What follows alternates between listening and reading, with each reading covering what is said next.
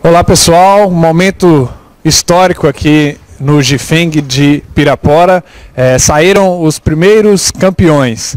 Vamos aqui conversar com nossos colegas que acabaram de sagrar vencedores das disputa individual do xadrez. Qual o seu nome e de qual campus você é? Jennifer, sou do campus Arinos. E o que, que você achou dessa disputa e de ter vencido? Foi maravilhoso.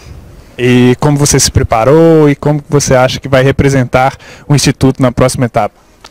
Eu me preparei bastante e, se Deus quiser, iremos ganhar o ouro na próxima etapa. E aqui estamos com o nosso atleta que se chama? Elivelton Barbosa. De qual campus? Campos Arinos também. E o que, que você achou aí da disputa? Ah, é muito interessante, né? Aprendi muito com alguns, alguns competidores também. E só isso aí por enquanto. E você no ano passado também disputou a etapa regional, né? E como que foi a disputa lá e como que você espera para essa de agora?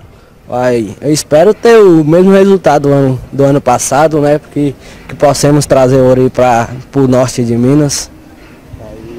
Obrigado e parabéns aos nossos campeões do Campus Arinos.